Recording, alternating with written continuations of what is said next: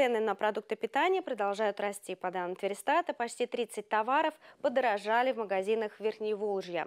За прошедшую неделю цены выросли на 27 категорий продуктов, включая картофель, морковь, огурцы, макароны, гречку, хлеб, подсолнечное масло, колбасу, сахар и соль. Самым подорожавшим продуктом недели стала капуста. Она прибавила в цене 8,8%.